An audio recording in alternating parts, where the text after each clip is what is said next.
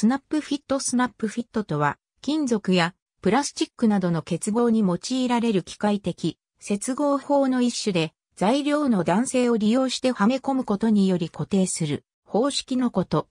この方式で部品を結合し、接着剤を使用せずに組み立てられるプラモデルをスナップフィットモデルあるいはスナップフィットキットと呼ぶ。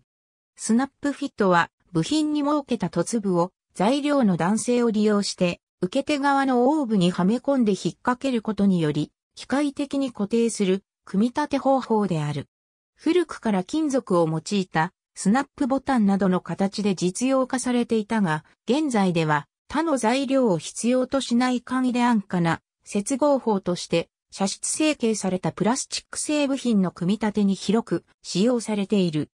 スナップフィットには板バネの先端にフック状の保持部を設けたタイプや円筒の周囲に保持部を設けたタイプ、ボールジョイント状のボールソケットタイプなどがある。保持角を90度とした場合には一度組み立てると分解はできないが、保持角を90度より小さくしたり、外部からフックを外す方向に力を加えられる気候を付加することにより分解を可能にすることもできる。円筒タイプやボールソケットタイプでは組み立てを容易にするためにスリットを設ける場合も多い。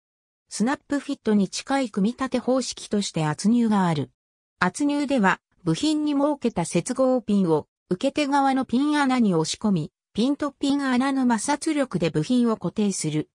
欧米の模型メーカーは1960年代以降、接着剤を使わずに組み立てられるプラモデルを相次いで発売し、パチンとはめ込む意味のスナップという語を用いて、メーカーごとにスナップタイト、スナフット、スナップファスト、スナップトゥゲザー、スナップフィックス等の様々な名称で呼んでいた。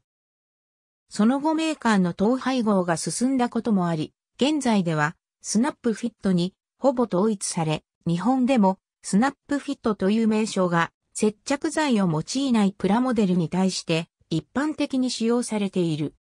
部品の固定方法には、主にキャンチレバータイプのスナップフィットと圧入が用いられる。プラモデルでは近年はピン式が主流で、ガンプラ等の初心者向けのキットに広く使用されている。ピン式の場合、受け手側のピン穴周辺には常に力が加わっているので、エナメル系の塗料で墨入れやウォッシングを行うと、溶剤の浸透によるプラスチックの劣化のために部品が破損する場合がある。またピン式の接合ピンとその受けは、接着式キットのガイドピンより大きく、また部品の中央近くに設けられることも多いため、部品の表面に引けが生じることもある。一度組み立てると分解が困難なため、仮組みを行う際はあらかじめ接合ピンの先端を斜めにカットしておくことも行われる。フック式はピン式に比べ固定が確実であり、フック先端が露出している場合はフックを外して分解することも容易である。ありがとうございます。